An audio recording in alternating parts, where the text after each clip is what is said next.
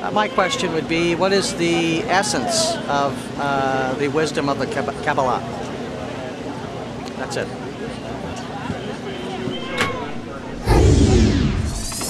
What is the essence of Kabbalah?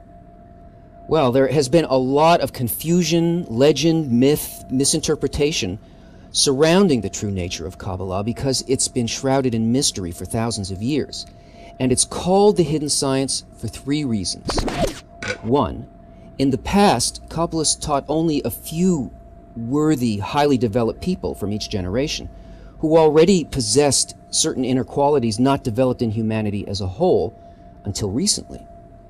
And these inner qualities allowed them to understand and use it correctly. So, in the first place, it was purposely hidden by the Kabbalists themselves.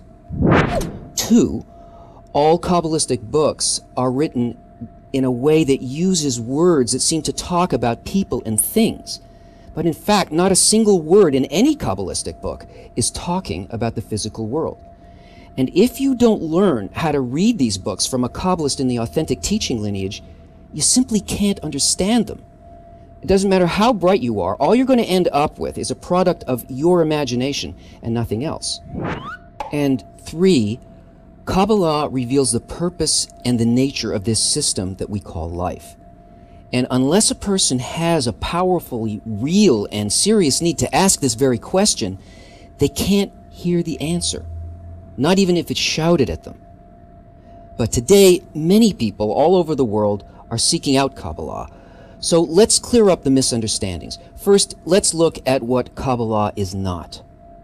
It is not and has nothing to do with religion, magic, mysticism, witchcraft, divination, cults, healing, meditation, self-help, philosophy, theory, parapsychology, ESP, telepathy, clairvoyance, new age, psychokinesis, superstition, dream interpretation, phrenology, tarot cards, mantra, yoga, red strings, holy water, blessings, Judaism, Islam, Christianity, Buddhism, Hinduism, Sufism, Anyism, past life regressions, holistic medicine, numerology, faith healing, aromatherapy, secret societies, Reiki hypnosis, channeling, transmutation, phrenology, astrology, astral travel, or projection, lucid dreaming, spiritualism, communicating with the dead, experiences, magnetism, voodoo, Freemasonry, philosophy, reflexology, UFO, creationism, fanaticism, or any other belief.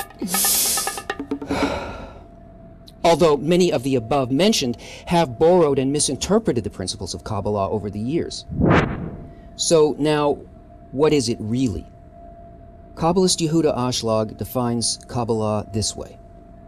The wisdom is no more and no less than a sequence of roots which hang down by way of cause and effect in fixed, determined rules, weaving into a single exalted goal described as the revelation of his godliness to his creatures in this world. Which means that there is an upper force, and then there are governing forces that descend from this upper force and bring about our existence in this world. We're familiar with physical forces such as gravity, electromagnetism, and even the power of thought, but there are forces of a much higher order that act while still remaining hidden to us. Just like we know the effects of electricity, but we can't see it and we don't know exactly what it is. The ultimate comprehensive force, the Creator, is the sum of all of the world's forces and the highest level in the line of higher governing forces. And this upper force gave birth to five worlds and a barrier separating them from our world. Now, the science of Kabbalah doesn't study our world and the people in it the way traditional science does. It investigates everything that exists beyond that barrier.